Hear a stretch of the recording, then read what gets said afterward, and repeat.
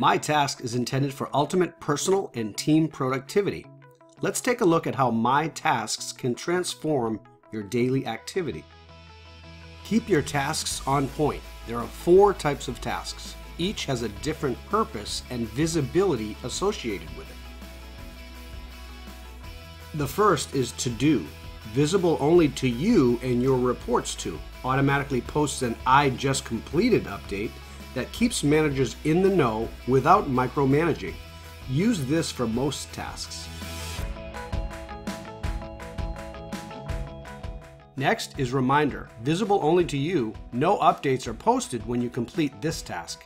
Use these as quick ways to get a reminder on your My Task list.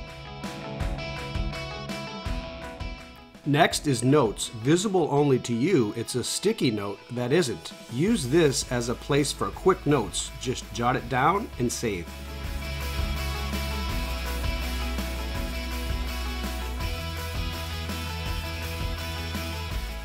Journal entry is a to-do entered as a completed task. Your results can be posted and viewed as daily updates with your team.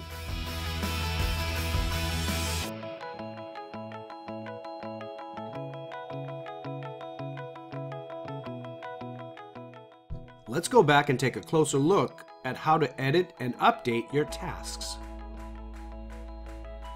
I can make quick edits here, assign it to another person, estimate hours, status, priority, assign it to a project, meeting, or a document.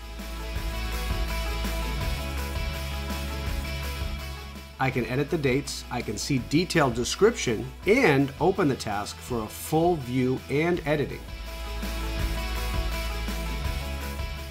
Here we have all of the stack cards for even more options. The preview card gives a look into the details. Access the dedicated document section, the task discussion board and history, and the workflow approval.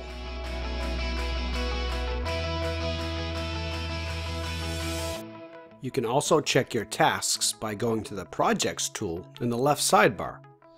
There, you can look at My Tasks, Task I created, and tasks by user.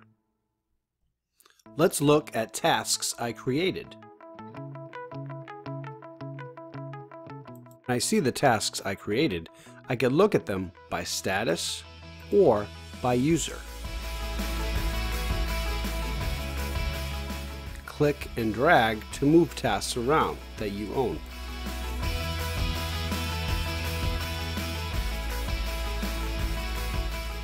All supervisors and members of this activity will see when I respond.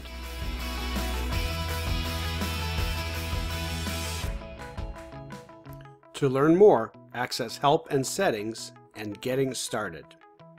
Thanks for watching.